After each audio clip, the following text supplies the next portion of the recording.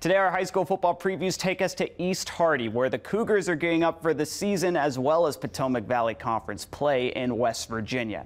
Now, the Cougars are coming off a 9 and 3 season, which includes a 5 and 1 record in conference play. This year, the team will look slightly different without star quarterback Mason Miller, who now plays for Shepherd University. While the team is younger, that's not necessarily a bad thing this group's been different though. This has been a very enjoyable group to work with. Uh, we've got a lot of fresh faces, not many returning starters, but they have embodied everything that we've tried to build the program to be, which is coachable athletes and hard workers. As we continue to grow as a team, and I get to see these young guys continue to grow better, confidence grows. A lot of the times, the freshmen and the sophomores will come up to me and they'll be like, "Hey." What is my duty on this? Even if it's nothing I play, they just know that I'm usually one to know the answer to this. Yeah, we show up every day and we try to correct the young the young guys and but there's always room for improvement.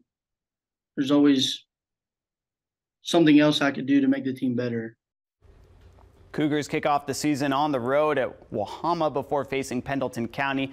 The home opener comes against Tucker County, one of the three teams that put a tally in their L column last year, and then later in the year they'll face Moorefield and Petersburg. We'll be